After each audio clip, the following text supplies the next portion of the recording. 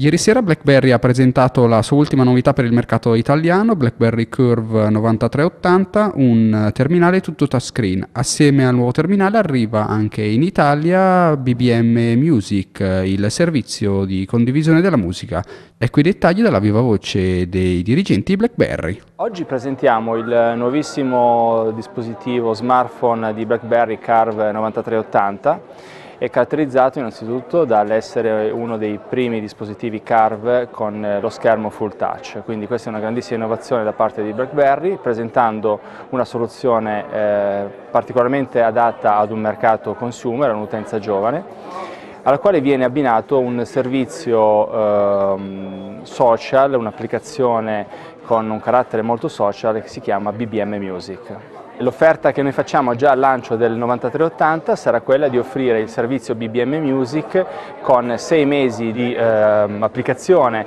eh, gratuita con la possibilità di scaricare fino a 50 canzoni all'interno del proprio dispositivo ma soprattutto di poterle condividere con tutti i contatti eh, collegati tramite il BlackBerry Messenger. Per il momento eh, questo servizio gratuito per sei mesi sarà disponibile soltanto sul eh, Carve 9380. Per gli altri utenti e successivamente al terzo scadere, all'eventuale scadere di questa promozione, il servizio costa 4,99 euro al mese. L'indirizzo di, di, questo dispositivo è particolarmente giovanile per diversi aspetti, per eh, il design eh, particolarmente eh, pratico e maneggevole, un dispositivo piccolo da, da maneggiare, eh, sicuramente in termini di prezzo, il prezzo al pubblico suggerito di 299 euro è particolarmente indicato per un'utenza giovanile che quindi non può permettersi delle spese eh, eccessive e eh, le funzioni che vengono offerte insieme al dispositivo in termini di